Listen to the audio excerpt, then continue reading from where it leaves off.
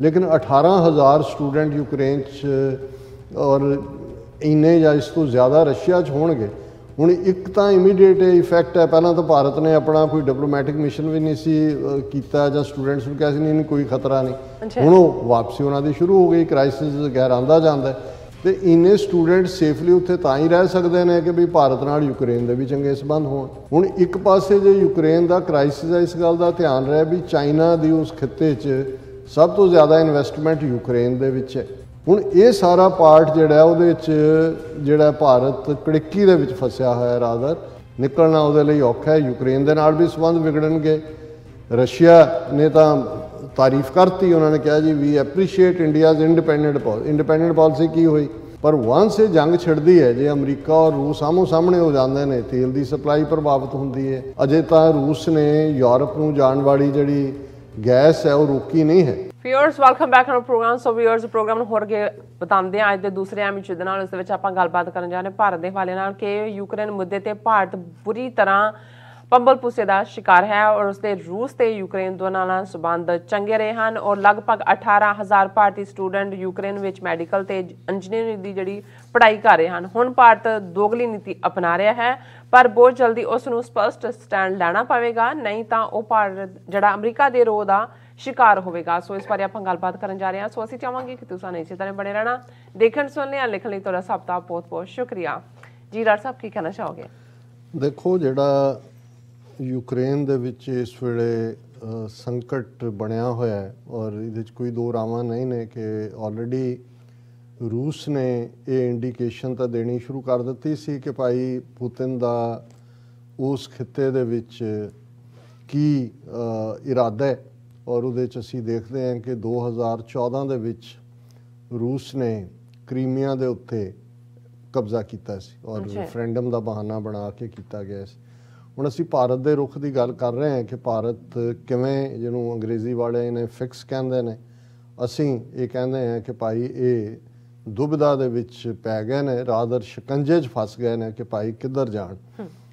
2014 ਦੇ ਵਿੱਚ ਜਦੋਂ ਇਹ ਕ੍ਰੀਮੀਆ ਕ੍ਰਾਈਸਿਸ ਹੋਇਆ ਉਦੋਂ ਅਜੇ ਮੋਦੀ ਦੀ ਸਰਕਾਰ ਮੋਦੀ ਨੇ ਟੇਕ ਓਵਰ ਨਹੀਂ ਸੀ ਕੀਤਾ ਮਨਮੋਹਨ ਸਿੰਘ ਸਰਕਾਰ ਸੀ। ਔਰ ਉਹਨਾਂ ਨੇ ਰੂਸ ਦੇ ਸਟੈਂਡ ਦੀ ਹਮਾਇਤ ਕੀਤੀ ਸੀ ਕਿ ਜੀ ਰੂਸ ਦਾ ਵਰਤਾਰਾ ਕੁਦਰਤੀ ਇਧਰ ਉਧਰ ਹੁਣ ਉਦੋਂ ਬਹੁਤੀ ਅਜੇ ਵਿਰੋਧਤਾ ਇਸ ਲਈ ਨਹੀਂ ਸੀ ਹੋਈ ਜਾਂ ਇਸ ਬਾਰੇ ਕੋਈ ਬਹੁਤੀ ਗੱਲ ਨਹੀਂ ਸੀ ਤੁਰੀ ਕਿ ਉਦੋਂ ਅਜੇ ਚੀਨ ਦੇ ਨਾਲ ਟਕਰਾਅ ਦੀ ਲਾਈਨ ਨਹੀਂ ਸੀ ਆਈ ਹੋਈ। ਚੀਨ ਦੇ ਨਾਲ ਤਾਂ 2020 ਚ ਆਈ, ਉਦੋਂ ਤੱਕ ਤਾਂ ਪ੍ਰੈਜ਼ੀਡੈਂਟ ਸ਼ੀ ਜਿਨਪਿੰਗ ਗੁਜਰਾਤ ਦੇ ਵਿੱਚ ਮੋਦੀ ਦੇ ਨਾਲ ਵਿਜ਼ਿਟ ਵੀ ਕਰ ਚੁੱਕਾ ਸੀ। ਮੋਦੀ ਚਾਈਨਾ ਦੀ ਵਿਜ਼ਿਟ ਕਰ ਚੁੱਕਾ ਸੀ। ਦੋ ਵਾਰ ਐਜ਼ ਅ ਚੀਫ ਮਿਨਿਸਟਰ ਹੁੰਦਿਆਂ ਵੀ ਇਹ ਗਿਆ। ਔਰ ਹੁਣ ਜਿਹੜੀਆਂ ਡਿਵੈਲਪਮੈਂਟਸ ਅਸੀਂ 8 ਸਾਲ ਬਾਅਦ ਦੇਖ ਰਹੇ ਹਾਂ, ਉਦੋਂ ਤਾਂ ਕੁਦਰਤੀ ਸੀ ਬੇਸ਼ੱਕ ਅਮਰੀਕਾ ਵੱਲ ਝੁਕਾਅ, ਭਾਰਤ ਦਾ ਜਿਹੜਾ ਉਹ ਜਦੋਂ Indo US nuclear deal treaty ਹੁੰਦੀ ਹੈ, ਮਨਮੋਹਨ ਸਿੰਘ ਦੇ ਵੇੜੇ ਉਹ ਬਣ ਗਿਆ ਸੀ। ਲੇਕਿਨ ਅਜੇ ਵੀ ਇੰਟਰਨੈਸ਼ਨਲ ਅਰੀਨਾ ਦੇ ਵਿੱਚ ਭਾਰਤ ਜਿਹੜਾ ਉਹ ਰਸ਼ੀਅਨ ਬਲਾਕ ਦੇ ਵਿੱਚ ਹੀ ਬਹੁਤ ਵਾਰ ਘੁੰਮਦਾ ਸੀ। ਅਮਰੀਕਾ ਦੇ ਨਾਲ ਅਜੇ ਉਸ ਕਿਸਮ ਦੀ ਸਾਂਝ ਵਾਲੀ ਗੱਲ ਨਹੀਂ ਸੀ ਬਣੀ। ਲੇਕਿਨ ਹੁਣ ਅੱਜ ਜਦੋਂ ਅਸੀਂ ਦੇਖਦੇ ਹਾਂ ਕਿ ਭਾਈ ਕ੍ਰੀਮੀਆ ਵੇਲੇ ਤਾਂ ਇੰਡੀਆ ਜਿਹੜਾ ਉਹ ਰੂਸ ਦੀ ਮਦਦ ਕਰਕੇ ਹਮਾਇਤ ਦੇ ਕੇ ਨਿਕਲ ਗਿਆ। ਹੁਣ ਯੂਕਰੇਨ ਔਰ ਰਸ਼ੀਆ ਔਰ ਬਹੁਤ ਸਾਰਿਆਂ ਨੂੰ ਸ਼ਾਇਦ ਹੈਰਾਨੀ ਹੋਈ ਹੋਈ ਗਈ ਜਦੋਂ ਕਿ ਯੂਕਰੇਨੀਅਨ ਕ੍ਰਾਈਸਿਸ ਦੇ ਗੱਲ ਚਲਦਿਆਂ ਨਿਕਲਿਆ ਕਿ ਜੀ 18000 ਭਾਰਤੀ ਸਟੂਡੈਂਟ ਯੂਕਰੇਨ ਚ ਪੜ੍ਹਦੇ ਨੇ। ਹੁਣ ਆਮ ਲੋਕ ਸੋਚਦੇ ਨੇ ਵੀ ਉੱਥੇ ਯੂਕਰੇਨ ਚ ਕਿਹੜੀ ਆਕਸਫੋਰਡ ਕੈਂਬਰਿਜ ਜਾਂ ਹਾਰਵਰਡ ਯੂਨੀਵਰਸਿਟੀ ਦੀ ਪੈਰਲਲ ਯੂਨੀਵਰਸਿਟੀ ਹੈ ਜਿੱਥੇ ਇਹਨਾਂ ਦਾ ਦੇ ਜਿਹੜੇ ਬ੍ਰਿਲੀਅੰਟ ਔਰ ਇਹ 18000 ਹੀ ਜਿਹੜੇ ਨੇ ਲਗਭਗ ਸਾਰੇ ਹੀ ਇਹ ਉੱਥੇ ਕੋਈ ਬੀਏ ਆਰਟਸ ਦਾ ਨਹੀਂ ਕਰਨ ਜਾਂਦੇ। ਮੈਡੀਕਲ ਦੀਆਂ ਔਰ ਇੰਜੀਨੀਅਰਿੰਗ ਦੀਆਂ ਡਿਗਰੀਜ਼ ਔਰ ਉਹ ਜਿੰਨੇ ਕੁ ਮੈਨੂੰ ਇਸ ਚ ਥੋੜੇ ਖਬਰ ਮਿਲੀ ਇਹ ਸਾਰੇ ਚੋਂ ਕਿ ਜਿੰਨਾ ਖਰਚਾ ਇੱਕ ਡਾਕਟਰ ਬਣਾਉਣ ਤੇ ਇੰਡੀਆ ਦੇ ਵਿੱਚ ਹੁੰਦਾ ਹੈ ਉਸ ਤੋਂ ਅੱਧੇ ਹੀ ਕੀਮਤ ਦੇ ਉੱਤੇ ਅੱਧੇ ਖਰਚੇ ਦੇ ਉੱਤੇ ਯੂਕਰੇਨ ਦੇ ਵਿੱਚ ਮੈਡੀਕਲ ਪੜ੍ਹਾਈ ਕੰਪਲੀਟ ਹੋ ਜਾਂਦੀ ਔਰ ਇਹ ਰੀਜ਼ਨ ਹੈ ਕਿ ਵੀ ਉਹ ਉੱਥੇ ਜਾਂਦੇ ਨੇ ਹੁਣ ਜ਼ਾਹਰ ਹੈ ਕਿ ਵੀ ਉੱਥੇ ਹੋ ਸਕਦਾ ਹੁਣ ਜਿਹੜੇ ਰੂਸ ਵੀ ਜਾਂਦੇ ਹੁੰਦੇ ਸੀ ਜਿਹੜਾ ਸਾਡਾ ਜ਼ਮਾਨਾ ਸੀ ਉਦੋਂ ਕ ਜਿਹੜੇ ਨੇ ਬਹੁਤ ਸਾਰੇ ਰਸ਼ੀਆ ਖਾਸ ਤੌਰ ਤੇ ਕਾਮਰੇਡਾਂ ਦੇ ਪੁੱਤਰ ਧੀਆਂ ਜਾਂਦੇ ਹੀ ਸੀ ਪਰ ਉਹਦੇ ਚ ਉਹਨਾਂ ਨੂੰ ਰਸ਼ੀਅਨ ਵੀ ਸਿੱਖਣੀ ਪੈਂਦੀ ਸੀ ਫਿਰ ਵਾਪਸ ਆਉਂਦੇ ਸੀ ਜਾਂ ਉਹ ਸਾਰੇ ਚੋਂ ਉਹਨਾਂ ਚੋਂ ਫਿੱਟ ਹੋ ਜਾਂਦੇ ਸੀ। ਫਿਰ ਉਹਨਾਂ ਨੇ ਇੰਡੀਅਨ ਮੈਡੀਕਲ ਐਸੋਸੀਏਸ਼ਨ ਨੇ ਬਾਅਦ ਦੇ ਵਿੱਚ ਰეკਮੈਂਡ ਕੀਤਾ ਔਰ ਫਿਰ ਇਹ ਹੋਇਆ ਵੀ ਜਿਵੇਂ ਇੱਥੇ ਅਮਰੀਕਾ 'ਚ ਹੁੰਦਾ ਹੈ ਕਿ ਭਾਵੇਂ ਤੁਸੀਂ ਆਪਣੀ ਕਰ ਲਈ ਹੈ ਪੜ੍ਹਾਈ ਤੁਸੀਂ ਕੀਤੀ ਹੈ ਯੂਐਸ ਸਿਮਲੀ ਵਰਗੇ ਐਗਜ਼ਾਮ ਹੁੰਦੇ ਨੇ ਉਹਦੇ ਚ ਤੁਹਾਨੂੰ ਅੱਗੇ ਜਾਣ ਦੇ ਲਈ ਔਰ ਇੰਡੀਆ 'ਚ ਵੀ ਇਹ ਹੋਇਆ ਕਿ ਭਾਈ ਉਹ ਹੋਏ ਉਹ ਕਿੰਨੇ ਕੁ ਕਾਰਗਰ ਨੇ ਜਿੱਥੇ ਹੈ ਹੀ ਚੋਰਾਂ ਦਾ ਸਫਾਰਸ਼ੀਆਂ ਦਾ ਮੁਲਕ ਲੇਕਿਨ 18000 ਸਟੂਡੈਂਟ ਯੂਕਰੇਨ 'ਚ ਔਰ ਇੰਨੇ ਜਾਂ ਇਸ ਤੋਂ ਜ਼ਿਆਦਾ ਰਸ਼ੀਆ 'ਚ ਹੋਣਗੇ ਹੁਣ ਇੱਕ ਤਾਂ ਇਮੀਡੀਏਟ ਇਫੈਕਟ ਹੈ ਪਹਿਲਾਂ ਤਾਂ ਭਾਰਤ ਨੇ ਆਪਣਾ ਕੋਈ ਡਿਪਲੋਮੈਟਿਕ ਮਿਸ਼ਨ ਵੀ ਨਹੀਂ ਸੀ ਕੀਤਾ ਜਾਂ ਸਟੂਡੈਂਟਸ ਨੂੰ ਕਿਹਾ ਸੀ ਨਹੀਂ ਕੋਈ ਖਤਰਾ ਨਹੀਂ। ਹੁਣ ਉਹ ਵਾਪਸੀ ਉਹਨਾਂ ਦੀ ਸ਼ੁਰੂ ਹੋ ਗਈ ਕ੍ਰਾਈਸਿਸ ਗੈਰ ਆਂਦਾ ਜਾਂਦਾ ਹੈ ਤੇ ਇੰਨੇ ਸਟੂਡੈਂਟ ਸੇਫਲੀ ਉੱਥੇ ਤਾਂ ਹੀ ਰਹਿ ਸਕਦੇ ਨੇ ਕਿ ਵੀ ਭਾਰਤ ਨਾਲ ਯੂਕਰੇਨ ਦੇ ਵੀ ਚੰਗੇ ਸਬੰਧ ਹੋਣ। ਬਿਲਕੁਲ। ਹੁਣ ਇੱਕ ਪਾਸੇ ਜੇ ਯੂਕਰੇਨ ਦਾ ਕ੍ਰਾਈਸਿਸ ਹੈ ਇਸ ਗੱਲ ਦਾ ਧਿਆਨ ਰਹੇ ਵੀ ਚਾਈਨਾ ਦੀ ਉਸ ਖਿੱਤੇ 'ਚ ਸਭ ਤੋਂ ਜ਼ਿਆਦਾ ਇਨਵੈਸਟਮੈਂਟ ਯੂਕਰੇਨ ਦੇ ਵਿੱਚ ਹੈ।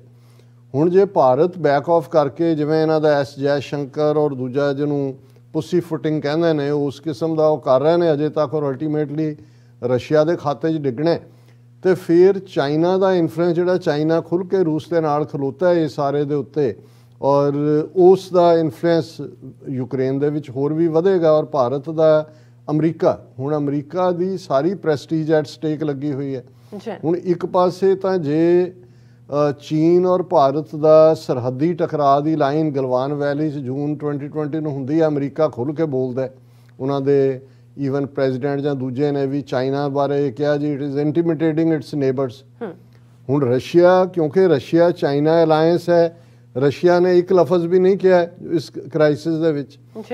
ਹੁਣ ਜੇ ਚੀਨ ਜਿਹੜਾ ਹੈ ਉਹ ਯੂਕਰੇਨ ਦੇ ਮੁੱਦੇ ਤੇ ਬੋਲਦਾ ਹੈ ਰਸ਼ੀਆ ਨਾਲ ਤਾਂ ਉਸ ਦਾ ਜਿਹੜਾ ਉਹ ਬਣਿਆ ਹੀ ਹੋਇਆ ਜੋ ਬਣਨਾ ਹੈ ਜ- ਬਣਿਆ। ਲੇਕਿਨ ਅਮਰੀਕਾ ਦੀ ਫਿਰ ਕੀ ਪੋਜੀਸ਼ਨ ਹੋਏਗੀ ਕਿ ਭਾਈ ਅਸੀਂ ਤੁਹਾਡੇ ਤੋਂ ਹੋਰ ਬੱਕਲੀਆਂ ਲੈਣੀਆਂ ਨੇ ਕਿ ਵੀ ਜੇ ਤੁਸੀਂ ਇਸ ਵੇਲੇ ਅਮਰੀਕਾ ਦੀ ਪ੍ਰੈਸਟੀਜ, ਵੈਸਟਰਨ ਯੂਰਪ ਸਾਰਾ ਇੱਕ ਪਾਸੇ ਖੜਾ ਹੈ। ਤੁਸੀਂ ਕਿੱਥੇ ਖੜੇ ਹੋ? ਹੁਣ ਇਹ ਸਾਰਾ ਪਾਰਟ ਜਿਹੜਾ ਉਹਦੇ ਵਿੱਚ ਜਿਹੜਾ ਭਾਰਤ ਕੜਿੱਕੀ ਦੇ ਵਿੱਚ ਫਸਿਆ ਹੋਇਆ ਰਾਦਰ ਇਹ ਜਿਹੜਾ ਡੌਗ ਇਨ ਦਾ ਮੈਂਜਰ ਪਾਲਿਸੀ ਜਿਹਦੇ ਬਾਰੇ ਅੰਗਰੇਜ਼ੀ 'ਚ ਅਕਸਰ ਕਿਹਾ ਜਾਂਦਾ ਵੀ ਉਹ ਕੜਿੱਕੀ 'ਚ ਫਸਿਆ ਹੋਇਆ, ਉਸ 'ਚੋਂ ਨਿਕਲਣਾ ਉਹਦੇ ਲਈ ਔਖਾ ਹੈ। ਯੂਕਰੇਨ ਦੇ ਨਾਲ ਵੀ ਸੰਬੰਧ ਵਿਗੜਨਗੇ। ਰਸ਼ੀਆ ਨੇ ਤਾਂ ਤਾਰੀਫ ਕਰਤੀ ਉਹਨਾਂ ਨੇ ਕਿਹਾ ਜੀ we appreciate India's independent policy independent policy ਕੀ ਹੋਈ? ਅੱਛਾ। ਹੁਣ ਦੂਜੇ ਪਾਸੇ ਅਮਰੀਕਾ ਦੇ ਔਰ ਇਸ ਦੇ ਉੱਤੇ BBC ਦੀ ਇੱਕ ਪੂਰੀ ਡੀਟੇਲ ਸਟੋਰੀ ਹੈ ਕਿ ਭਾਈ ਇਸ ਸਾਰੇ ਦੇ ਵਿੱਚ ਭਾਰਤ ਨੇ 2014 ਹੀ ਤਾਂ ਉਹ ਗੈਟ ਅਵੇ ਹੋ ਗਿਆ ਕਿਉਂਕਿ ਉਸ ਪੀਰੀਅਡ 'ਚ ਅਜੇ ਅਮਰੀਕਾ ਨਾਲ ਇੰਨੀ ਕੁਰਬਤ ਨਹੀਂ ਸੀ ਔਰ ਇਸ ਦੇ ਉੱਤੇ ਖਾਸ ਤੌਰ ਤੇ ਜਿਹੜੇ ਅੱਡ ਅੱਡ ਜਿਵੇਂ Wilson Center for South Asia think tanks ਨੇ ਉਹਨਾਂ ਨੇ ਕਿਹਾ ਕਿ ਵੀ ਇਹ ਭਾਰਤ ਨੇ ਜੋ ਸਿਕਿਉਰਿਟੀ ਕਾਉਂਸਲ ਦੇ ਵਿੱਚ ਵੀ ਜਿਸ ਕਿਸਮ ਦਾ ਰੁਖ ਅਖਤਿਆਰ ਕੀਤਾ ਇਹ ਵੀ ਇੱਕ ਹੈਰਾਨੀ ਕਰਨ ਵਾਲਾ ਸੀ।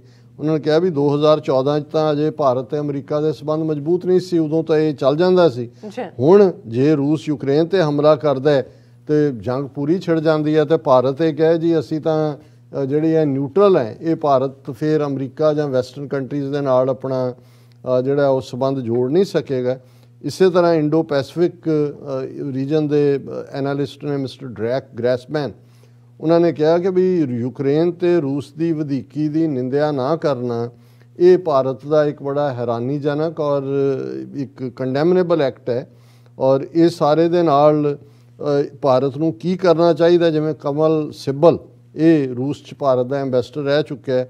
ਉਹਨਾਂ ਨੇ ਕਿਹਾ ਵੀ ਇਹ ਭਾਰਤ ਨੂੰ ਇਹ ਇਸ ਵੇਲੇ ਕਿਸੇ ਦਾ ਪੱਖ ਅ, ਲੈਣਾ ਚਾਹੀਦਾ ਕਿਦਾ ਨਹੀਂ ਲੈਣਾ ਚਾਹੀਦਾ ਇਹਦੇ ਲਈ ਇੱਕ ਚੰਗੀ ਫੋਰਨ ਪਾਲਿਸੀ ਦੀ ਲੋੜ ਹੈ। ਮਤਲਬ ਕਿਸੇ ਨੂੰ ਨਹੀਂ ਪਤਾ ਹੈ ਕਿ ਕੀ ਹੈ। ਉਹਨਾਂ ਕਿਹਾ ਕਿ ਵੀ ਭਾਰਤ ਜਿਹੜਾ ਅਮਰੀਕਾ ਦੇ ਦਬਾਅ 'ਚ ਨਾ ਆਵੇ ਤੇ ਉਹ ਰੂਸ ਦੇ ਖਿਲਾਫ ਨਾ ਭੁਗਤੇ। ਪਰ ਨਾਲ ਦੀ ਨਾਲ ਉਹਨੇ ਕਿਹਾ ਕਿ ਵੀ ਇਹ ਜਿਹੜਾ ਅਲਟੀਮੇਟਲੀ ਜੇ ਰੂਸ ਔਰ ਵੈਸਟਰਨ ਜੇ ਅਮਰੀਕਾ ਔਰ ਵੈਸਟਰਨ ਕੰਟਰੀਜ਼ ਸੈਂਕਸ਼ਨਸ ਲਾ ਰਹੇ ਨੇ ਤੇ ਭਾਰਤ ਦੇ ਉੱਤੇ ਵੀ ਇਸ ਦਾ ਪ੍ਰਭਾਵ ਪਏਗਾ ਕਿਉਂਕਿ ਭਾਰਤ ਨਾਲ ਜਿਹੜੇ ਸੌਦੇ ਨੇ ਉਹ ਵੀ ਪ੍ਰਭਾਵਿਤ ਹੋਣਗੇ। ਸੋ ਇਸ ਸਾਰੇ ਤੇ ਚੱਲਦੇ ਆ। ਜਿਹੜਾ ਇਮੀਡੀਏਟ ਲੋਕ ਉੱਥੇ ਦੇਖ ਰਹੇ ਨੇ ਕਿ ਭਾਈ ਸਾਡੀ ਜੇਬ ਦੇ ਉੱਤੇ ਕੀ ਅਸਰ ਹੋਏਗਾ ਕਿਉਂਕਿ ਇਸ ਗੱਲ ਦਾ ਧਿਆਨ ਰਹੇ ਕਿ ਰੂਸ ਸਾਊਦੀ ਅਰੇਬੀਆ ਅਮਰੀਕਾ ਇਹ ਦੁਨੀਆ ਦੇ ਤਿੰਨ ਵੱਡੇ ਆਇਲ ਪ੍ਰੋਡਿਊਸਿੰਗ ਮੁਲਕ ਨੇ। ਅੱਛਾ। ਆਲਰੇਡੀ ਜਿਹੜੀ ਕਰੂਡ ਆਇਲ ਦੀ ਬੈਰਲ ਹੈ ਉਹ 90 ਡਾਲਰ ਨੂੰ ਪਹੁੰਚ ਚੁੱਕੀ ਹੈ। ਹੁਣ ਤਾਂ ਜੇ ਭਾਰਤ 'ਚ ਜਿਹੜੇ ਨੇ ਉਹ ਤੇਲ ਗੈਸ ਦੂਜੇ ਤੀਜੇ ਦੇ ਭਾਅ ਨਹੀਂ ਕਿਉਂਕਿ ਚੋਣਾਂ ਹੋ ਰਹੀਆਂ ਨੇ ਪੰਜਾਬ 'ਚ ਹੋਈਆਂ ਯੂਪੀ 'ਚ ਅਜੇ ਕੁਝ ਚਰਨਾਂ ਦੀ ਹੈ, ਗੋਆ ਦੇ ਵਿੱਚ ਹੈ, ਮਣੀਪੁਰ ਦੇ ਵਿੱਚ ਹੈ। ਤੇ ਜੇ ਹੁਣ ਪ੍ਰਾਈਸ ਸ਼ੂਟ ਅਪ ਹੋਏ ਤਾਂ ਉਹਨਾਂ ਕੀਤੇ ਉਹਨਾਂ ਨੇ, ਹੁਣ ਤਾਂ ਉਹ ਆਪਣੀ ਰਿਆਇਤੀ ਫੰਡ 'ਚੋਂ ਪੈਸੇ ਪਾ ਰਹੇ ਹੋਣਗੇ। ਪਰ ਵਾਂਸ ਇਹ ਜੰਗ ਛਿੜਦੀ ਹੈ, ਜੇ ਅਮਰੀਕਾ ਔਰ ਰੂਸ ਆਮੋ ਸਾਹਮਣੇ ਹੋ ਜਾਂਦੇ ਨੇ, ਤੇਲ ਦੀ ਸਪਲਾਈ ਪ੍ਰਭਾਵਿਤ ਹੁੰਦੀ ਹੈ। ਅਜੇ ਤਾਂ ਰੂਸ ਨੇ ਯੂਰਪ ਨੂੰ ਜਾਣ ਵਾਲੀ ਜਿਹੜੀ ਗੈਸ ਹੈ, ਉਹ ਰੋਕੀ ਨਹੀਂ ਹੈ। ਜਦੋਂ ਉਹਨੇ ਕੀਤਾ, ਇਹ ਠਰਨ ਲੱਗੇ ਠੰਡ ਨਾਲ ਔਰ ਕੀਮਤਾਂ ਕਿੱਥੇ ਨੂੰ ਜਾਣਗੀਆਂ ਤੇ ਭਾਰਤ ਦੇ ਵਿੱਚ ਜਿੱਥੇ ਉਹਨਾਂ ਦਾ ਆਲਮੋਸਟ ਜਿਹੜੀ ਇਵਨ ਕੁਕਿੰਗ ਗੈਸ ਹੈ ਘਰਾਂ 'ਚ ਸਿਲੰਡਰ ਵਰਕਸ਼ਾਪ 'ਚ ਦੂਜੇ ਆਲਮੋਸਟ 90% ਜਿਹੜੀ ਹੈ ਉਹ ਬਾਹਰੋਂ ਆਂਦੀ ਹੈ ਇੰਪੋਰਟ ਹੁੰਦਾ ਇਹੀ ਹੈ ਕਿ ਵੀ ਜਿਵੇਂ ਰਸ਼ੀਆ ਦੇ ਕੋਲ ਜ਼ਖੀਰਾ ਹੈ ਔਰ ਉਹ ਗੈਸ ਫਾਰਮ 'ਚ ਹੁੰਦੀ ਹੈ, ਉਹ ਗੈਸ ਨੂੰ, ਉਹਨੂੰ ਇਸ ਲਈ ਲਿਕੁਇਡ ਗੈਸ ਕਿਹਾ ਜਾਂਦਾ ਹੈ, ਉਹਨੂੰ ਜਿਹੜਾ ਉਹ ਉਸ ਦੇ ਵਿੱਚ ਕਨਵਰਟ ਕੀਤਾ ਜਾਂਦਾ ਹੈ, ਜਿਹੜਾ ਫਿਰ ਐਲਐਸਜੀ ਔਰ ਦੂਜੇ ਜਿਸ ਕਿਸਮ ਦੇ ਵੀ ਉਹ ਸਾਰੇ ਸਿਲੰਡਰਸ ਔਰ ਦੂਸਰੇ ਨੇ ਉਹਨਾਂ ਦੀ ਸਪਲਾਈ ਹੁੰਦੀ ਹੈ। ਤੇ ਘਰਾਂ 'ਚ ਜਾਂ ਤਾਂ ਫਿਰ ਉਹ ਲੱਕੜਾਂ ਲੱਭਣੀਆਂ ਪੈਣੀਆਂ ਨੇ ਫੂਕਾਂ ਮਾਰਨੀਆਂ ਪੈਣੀਆਂ ਨਵੀਆਂ ਨੋਹਾਂ ਜਿਹੜੀਆਂ ਹੁਣ ਘਰਾਂ 'ਚ ਨੇ ਉਹਨਾਂ ਤੋਂ ਅੱਗ ਨਹੀਂ ਬਲਣੀ ਹੈ। ਹੁਣ ਤਾਂ ਐ ਔਨ ਕੀਤਾ ਗੈਸ ਔਨ ਸੋ ਮਤਲਬ ਇਹ ਹੈ ਵੀ ਇਹ ਬਹੁਤ ਵਾਰੀ ਹੁੰਦਾ ਹੈ ਕਿ ਜੀ ਉੱਥੇ ਹੋ ਰਿਹਾ ਹੈ ਹਜ਼ਾਰਾਂ ਮੀਲ ਦੂਰ ਸਾਨੂੰ ਕੀ ਫ਼ਰਕ ਪੈਂਦਾ ਨਹੀਂ ਇਹ ਨਹੀਂ। ਅੱਜ ਜ਼ਮਾਨਾ ਉਹ ਆ ਗਿਆ ਕਿ ਜਿਹਨੂੰ ਐਵੇਂ ਨਹੀਂ ਗਲੋਬਲ ਵਿਲੇਜ ਕਹਿੰਦੇ ਹਰ ਚੀਜ਼ ਇੱਕ ਦੂਸਰੇ ਨੂੰ ਪ੍ਰਭਾਵਿਤ ਕਰਦੀ ਹੈ ਹਰ ਚੀਜ਼ ਅਸਰਅੰਦਾਜ਼ ਹੁੰਦੀ ਹੈ। ਔਰ ਸਭ ਤੋਂ ਵੱਡਾ ਜੇਬ ਦੇ ਉੱਤੇ ਅਸਰ ਹੁੰਦਾ ਹੈ ਕਿਉਂਕਿ ਇਕਨੋਮੀ ਆਇਲ ਦੇ ਉੱਤੇ ਖੜੀ ਹੈ। ਟਕਰਾ ਆ ਹੁਣ ਕੋਵਿਡ ਦੇ ਚੱਲਦੇ ਆ ਜੇ ਜਹਾਜ਼ਾਂ ਨਾਲ ਜੁੜੀਆਂ ਤੁਸੀਂ ਚੀਜ਼ਾਂ ਦੇਖੋ ਕੱਲਾ ਇਹ ਨਹੀਂ ਸੀ ਜੀ ਕਿ ਜਹਾਜ਼ ਬੰਦ ਹੋ ਗਏ ਮੁਸਾਫਰ ਕਿੰਨੇ ਸਾਰੇ ਹੋਰ ਕਿਤੇ ਪ੍ਰਭਾਵਿਤ ਹੋਏ ਜਿਨ੍ਹਾਂ ਦੀ ਰੋਟੀ ਰੋਜ਼ੀ ਉਹਦੇ ਉੱਤੇ ਹੁੰਦੀ ਹੈ। ਸੋ ਅਸੀਂ ਸਮਝਦੇ ਹਾਂ ਵੀ ਜੰਗ ਜਿਹੜੀ ਹੈ ਉਹ ਕਦੇ ਵੀ ਚੰਗੀ ਚੀਜ਼ ਨਹੀਂ ਹੁੰਦੀ ਔਰ ਠੀਕ ਹੈ। ਇਮਰਾਨ ਖਾਨ ਹੋਰਾਂ ਨੇ ਜਦੋਂ ਉਹਨਾਂ ਨੇ ਰਸ਼ੀਆ ਟੁਡੇ ਆਰਟੀ ਉਹਨਾਂ ਦੇ ਚੈਨਲ ਨੂੰ ਇੰਟਰਵਿਊ ਦਿੱਤਾ ਤੇ ਉਹਨਾਂ ਨੇ ਕਿਹਾ ਵੀ ਦੁਨੀਆ 'ਚ ਕਦੇ ਜੰਗਾਂ ਨੇ ਕਿਸੇ ਮਸਲੇ ਦਾ ਹੱਲ ਥੋੜੀ ਕੀਤਾ ਹੈ। ਬਿਲਕੁਲ। ਔਰ ਹੁਣ ਵੀ ਉਹਨਾਂ ਨੂੰ ਉੱਥੇ ਰੈੱਡ ਕਾਰਪਟ ਵੈਲਕਮ ਮਿਲੀ ਹੈ ਔਰ ਅਸੀਂ ਡਿਸਕਸ ਵੀ ਕਰਾਂਗੇ ਕਿ ਭਾਈ ਜਿਹੜਾ ਉਹਨਾਂ ਦਾ ਆਰਟੀ ਨੂੰ ਜਿਹੜਾ ਰਸ਼ੀਆ ਟੁਡੇ ਨੂੰ ਦਿੱਤਾ ਇੰਟਰਵਿਊ ਹੈ ਉਹਦੇ 'ਚ ਇੱਕ ਬ੍ਰੌਡ ਸਪੈਕਟਰਮ ਸੀ। ਜਿਹੜੀ ਬੀਬੀ ਇੰਟਰਵਿਊ ਕਰਨ ਵਾਲੀ ਉਹ ਵੀ ਬੜੀ ਜ਼ਬਰਦਸਤ ਪ੍ਰੋਫੈਸ਼ਨਲ ਜਰਨਲਿਸਟ ਸੀ। ਔਰ ਅਸੀਂ ਗੱਲਬਾਤ ਕਰਾਂਗੇ ਉਹਨੇ ਸ਼ੁਰੂ ਹੀ ਜਿਹੜੇ ਵੱਡੇ ਇੱਕ ਫਿਲਾਸਫਰ ਸੂਫੀ ਫਕੀਰ ਰੂਮੀ ਈਰਾਨ ਦੇ ਹੋਏ ਨੇ ਜਿਹੜੇ ਜਿਨ੍ਹਾਂ ਨੇ ਅਲਾਮਾ ਇਕਬਾਲ ਨੂੰ ਵੀ ਪ੍ਰਭਾਵਿਤ ਕੀਤਾ ਉਸ ਦੀ ਕੋਟ ਤੋਂ ਹੀ ਉਹਨੇ ਸ਼ੁਰੂ ਕੀਤਾ ਸੀ ਗੱਲ ਤੇ ਲੇਕਿਨ ਇਹਦੇ ਚ ਕੋਈ ਦੋ ਰਾਵਾਂ ਨਹੀਂ ਨੇ ਕਿ ਵੀ ਇਸ ਵੇਲੇ ਹਰ ਇੱਕ ਦੀਆਂ ਫਿੰਗਰਸ ਕ੍ਰਾਸਡ ਨੇ ਕਿ ਵਾਟ ਨੈਕਸਟ ਔਰ। ਅਸੀਂ ਇਹੀ ਪ੍ਰੇ ਕਰੀਏ ਕਿ ਫੁੱਲ ਸਕੇਲ ਵਾਰ ਚ ਤਬਦੀਲ ਨਾ ਹੋਵੇ। ਯੂਕਰੇਨੀਅਨ ਥੀਏਟਰ ਜੀ, ਰਾਜ ਸਾਹਿਬ, ਤੁਹਾਡਾ ਬਹੁਤ ਬਹੁਤ ਸ਼ੁਕਰੀਆ ਸਾਥ ਲੈਣੇ ਬ੍ਰੇਕ ਵਿਊਅਰਸ ਤੁਸੀਂ ਇਸੇ ਤਰ੍ਹਾਂ ਬਣੇ ਰਹਿਣਾ। ਮਿਲਦੇ ਹਾਂ ਛੋਟੇ ਜਿਹੇ ਵਕਫੇ ਤੋਂ ਬਾਅਦ।